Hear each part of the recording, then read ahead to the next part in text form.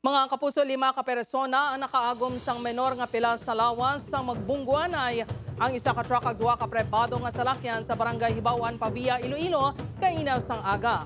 Sunod sa pila ka nakasaksi sang aksidente, halin sa isa ka subdivision ng isa ka salakyan kag maliko na kuntani sa direksyon padulong sa syudad sang Iloilo, sang nabungguan sang truck nga padulong naman ang direksyon sa San Miguel, Iloilo. Bangod sa impact, nag-isi-isi ang dalagan sang truck kag natumbahan pa ang nasumala nga pickup.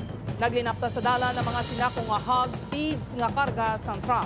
Nakaagom sang gas-gas sa kuya ang driver sang pickup nga mga minor nga pilasman ang naagom sang driver kag tato ka pasahero sang isa pagid kasalakyan.